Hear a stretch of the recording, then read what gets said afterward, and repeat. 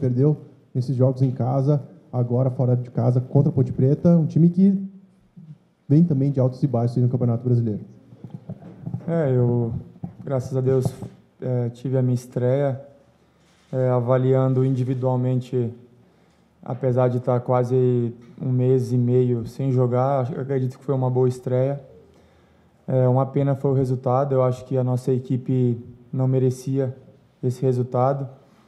Eu acho que muitos falaram né, é, sobre esse jogo, muito, muitos, muitos é, comentários. Eu acredito que a nossa equipe fez por merecer a vitória, buscou a vitória no segundo tempo, principalmente a todo, a todo momento.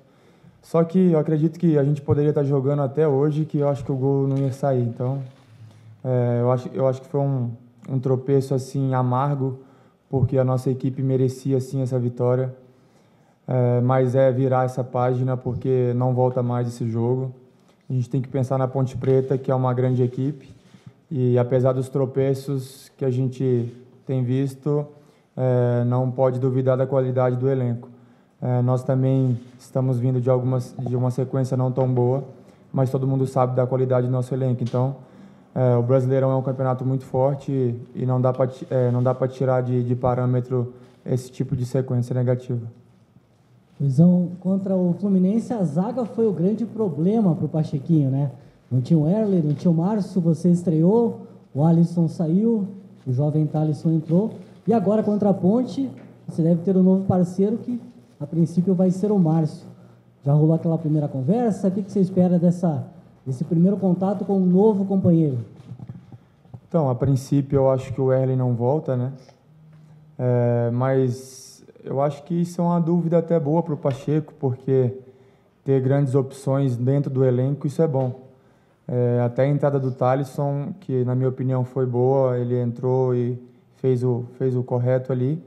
Isso é bom que aumenta a qualidade do nosso elenco. Ele vai ganhando peças, vai ganhando opções para o setor. É, numa zaga que é, de início é o Erle e o Márcio.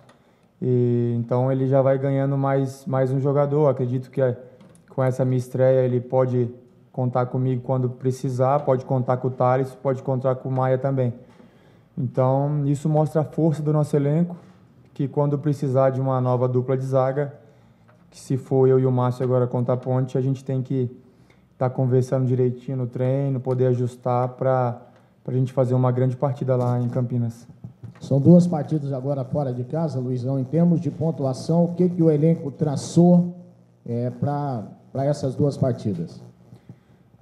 Acho que é duas vitórias, né? Não tenho o que pensar.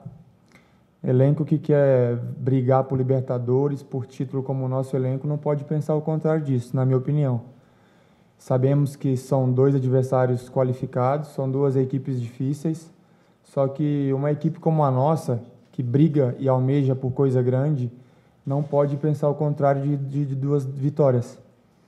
É, sabemos da, da, das dificuldades, sabemos da pressão que é jogar lá, é, em Campinas e no Rio de Janeiro, mas é, a gente vai respeitar o adversário jogando o nosso futebol. São aí essas duas partidas fora, né? O Coxa se encontra na metade da tabela. É, Pode-se dizer que é uma sequência quase que determinante aí para saber é, aonde o Coxa chega, pelo menos no primeiro turno, né? Se vai brigar em cima ou se vai disputar ali embaixo. Por saber que esses seis pontos aí que vão ser disputados podem jogar o time tanto lá para cima como lá para baixo num campeonato tão equilibrado. Sim, eu acho é, você assim, pelo que a gente se reúne quando a gente depois dos jogos, a nossa equipe nunca cogitou é, essa briga pela parte de baixo da tabela. Nossa equipe sempre buscou e vai buscar brigar no lado de cima por coisa grande dentro do campeonato. Claro que dois jogos fora de casa, a gente sabe que a gente tem que pontuar, é importantíssimo para a continuação do campeonato na nossa briga pela Libertadores e por títulos. Então, acredito que esses dois jogos vão ser importantes para a gente poder fechar o primeiro turno aí bem e focar no segundo turno para jogo a jogo para poder alcançar nossos objetivos internos.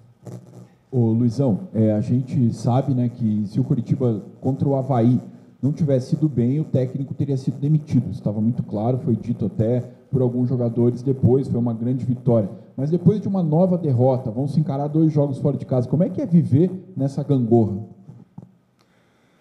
Sim, acho que um, a gente tem um sentimento até de, de tristeza assim pelo questionamento que vem colocado sobre o professor, né? A gente sabe da grande pessoa e do grande profissional que ele é e acho que o único culpado disso tudo às vezes somos nós jogadores e só que é mais fácil demitir um do que demitir 35. Eu acho muito injusta essa pressão que vem sendo criada sobre ele, porque é, esses resultados negativos ele tem feito de tudo, tem mexido na equipe, tem colocado a equipe para frente. Só que a gente se uniu em prol da gente até brigar por ele também, porque eu acho que não seria justo colocar o professor nessa pressão toda e, e tirar um pouco disso sobre nós. Eu acho que não é bem por aí. Eu acho que a nossa equipe tem que voltar a vencer para dar tranquilidade dentro também do nosso trabalho, porque a gente sabe que ele é um grande profissional que nos tem nos ajudado no dia a dia. E eu acredito que, que a gente vai voltar a engrenar, voltar ao caminho certo para dar mais tranquilidade dentro do trabalho.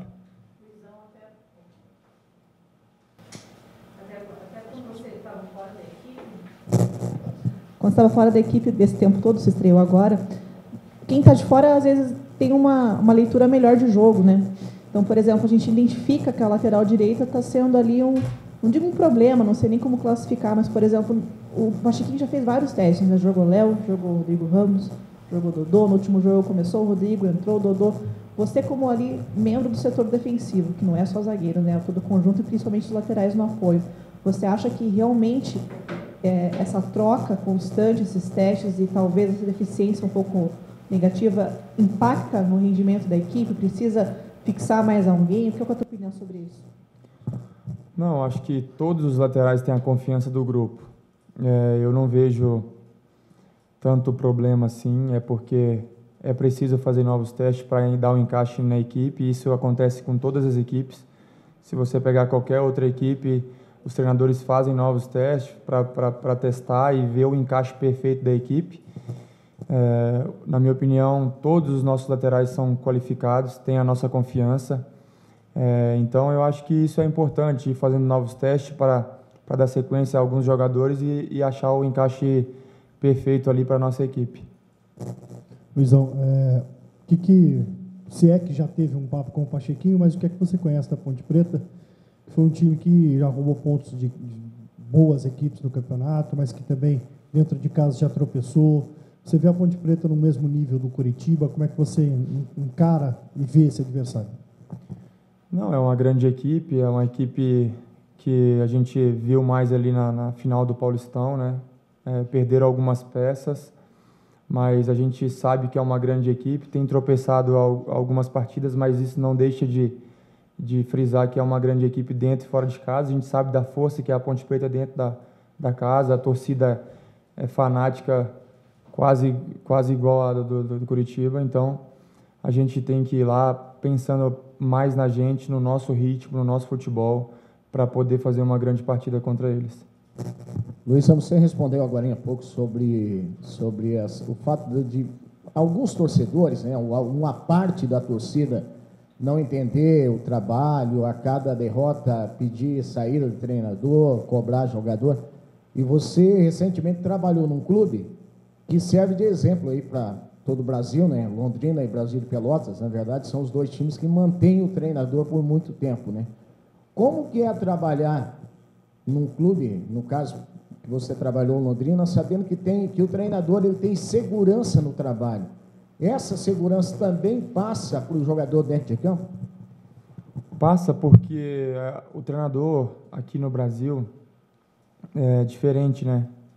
Eu acho que o Cláudio lá no Londrina tem sido a exceção porque assim, ó, ele conhece o plantel que tem na mão, sabe quando ele pode utilizar o jogador, sabe ao momento, sabe os, os jogadores que ele pode confiar, sabe o que precisa ser feito. Então, quando essa troca de treinador é feita, é, chega um novo trabalho, chega até pegar aquilo ali tudo. Então, eu não sou a favor disso. É, me sentia muito bem com o trabalho lá no Londrina, porque a gente sabia de tudo que o treinador gostava e ele também sabia de tudo as peças que ele tinha na mão. Eu acho que aqui no, no, no Curitiba não pode ser diferente. O Pacheco conhece todos, ele tem ganhado alguns reforços e tem colocado para estrear e tem conhecido alguns jogadores. Eu acho que a pressão é normal, pedir para sair, então, mas eu acho que isso não, não pode ser afetado aqui dentro do Curitiba, porque a gente sabe do, do trabalho que a gente tem feito aqui dentro, a gente sabe da nossa competência e as dúvidas a gente deixa para lá, para fora, porque aqui dentro a gente sabe da, da importância que o treinador tem. Então, eu acho que não é trazendo outro treinador que vai resolver o problema. Acho que não é bem por aí. E acredito que se o Curitiba tem essa meta de manter um treinador, um cara que é conhecido da torcida, que já foi uma grande, um grande jogador aqui da cidade, do clube, tem identificação. Eu acho que é um caminho certo para poder fazer um trabalho a longo prazo e fazer é, revelar jogador, como ele conhece quase todos da base, como utilizou o Thaleson agora, não teve medo nenhum de colocar o moleque para jogar. Então eu acho que é bem por aí. Não tem, não tenho dúvida de que o, de que o Curitiba está no caminho certo. Ô, Luizão, é, você, você, jogou com o isso né, no ano passado. Queria que você falasse sobre, sobre ele, como é que estava o isso no ano passado e, e como você vê essa volta dele para o Curitiba, tentando recuperar um bom futebol.